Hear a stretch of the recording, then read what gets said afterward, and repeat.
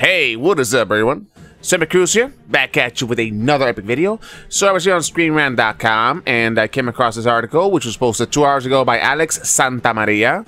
Uh, Silent Hills for PS5 confirmed by God of War Ragnarok Leaka. Ooh, yes! Another uh, video, you know, you know, more rumors about Silent Hills on the PS5. Uh, let's get into it. So a credit leaker has teased that Hideo Kojima Silent Hills maybe back on track as a PS5 exclusive helm by its original creative team. I mean, that, uh, I've been talking about this for a while, but uh, it makes sense when you think about it. You know, you know, building a game for the ground up, it's expensive. But what do you take a game that was canceled at, say, 50, 60% completion, right? It's cheaper, obviously, to just go from there. So anyways, a so far reliable leaker of the PS5 like God of War Ragnarok games has tried again, hinting that Silent Hills may be on its way after all in some form. The horror game was originally said to be a project by famed Metal Gear Solid creator Hideo Kojima in conjunction with filmmaker Guillermo del Toro and uh, Norman Reedus. This was confirmed thanks to the PS4's PT, a playable teaser of the game, that was released during E3 2014 to critical acclaim and high player expectations. The project was thought to have fallen apart after Kojima's high-profile departure with Konami. Uh-huh, and then, but it seems the company is finally moving forward with multiple blockbusters based on his work. The, the same man who knew about God of War Ragnarok before its reveal has also promised that a Metal Gear Solid remake is coming. Yeah, I heard about that. Allegedly coming from Demon's Souls Blue, uh, Bluepoint Games. After Konami's pitiful attempt yeah, talk about uh, Metal Gear Survive here. Yeah, enough said right there. Metal Gear Survive. Let's just uh, move on. The same game leaked out by YouTuber Moore's Law is Dead during a recent podcast is Silent Hills, a game that he alleges is almost entirely confirmed. He claims that Konami and Hideo were able to come to an agreement that would allow the game maker to continue the work he started before leaving the publisher. That would be a huge and completely unprecedented move, as Konami famously booted Kojima from the company in a distasteful fashion, and Kojima has since denied any involvement in the Metal Gear and Silent Hill franchises. That is correct, I did a video about that, I believe. Um, there's one further detail about the game that could let players know when they'll be seeing more, as some might expect given the history between Hideo Kojima and, and Geoff Keighley. The announcement of Silent Hills could be one of the big reveals of this year's Game Awards. Uh, Keighley was outspoken about uh, Konami's treatment of Kojima, using his Game Awards platform to condemn the publisher.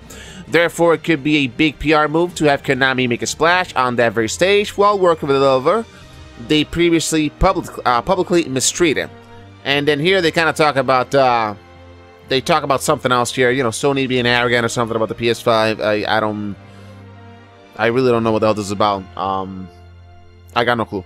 But anyway, um, I mean, this sounds interesting, and it kind of makes sense because there have been rumors of something in regards to Silent Hill for the PS5 for, I want to say, a good year now, you know, and we also got rumors of a new Silent Hill movie coming out as well.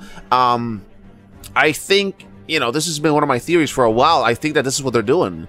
Silent Hills, when it got canceled, I mean, who knows, you know, how far along in development it was. It could have been maybe, you know, 40%, maybe 50%, hell, 60%, who knows. But I think, you know, if they're just finishing up Silent Hills, I think this way it's cheaper, it's doable, and they can crank it out faster. So I think that's what's going on here. I think that definitely, you know, Silent Hills, you know, they are going to finish it. You know, I think that, uh, now the question is, um, when is this exactly coming out? I mean, I'm guessing uh, could be 2021, could be 2022, who knows? But uh, I mean, this guy leaked them, and apparently he was right on so many other leaks.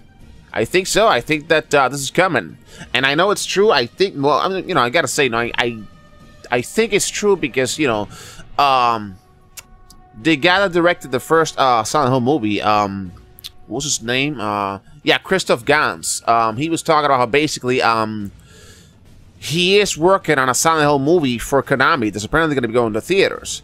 Now, let's think about this for a second. A Silent Hill movie, when we haven't had a Silent Hill game in, in, in what, a decade now? Um, yeah, that would make no sense, right? I think what they're going to do is they're going to release the Silent Hills game, and then basically, they're going to have the movie as a tie-in or vice versa. So I think that's what's going on here. What do you guys think? Uh, let me know in the comments section because I'm really curious about this uh, Silent Hills. I do think it's coming. I do think this is happening. It's been confirmed. Well, you know, it's been leaked by the same guy that, that leaked God of War Ragnarok. So I'm thinking, you know, I think that uh, it's going to happen. And we've been hearing rumors about this for, you know, uh, what, two years now? Maybe a year now? Maybe a year and a half? Who knows? I think this is this is what's coming. It's cheaper, it's faster. I think this was Kevin. And it's going to tie in with the Silent Hill movie that Christopher Gans says he's, he's making, all right?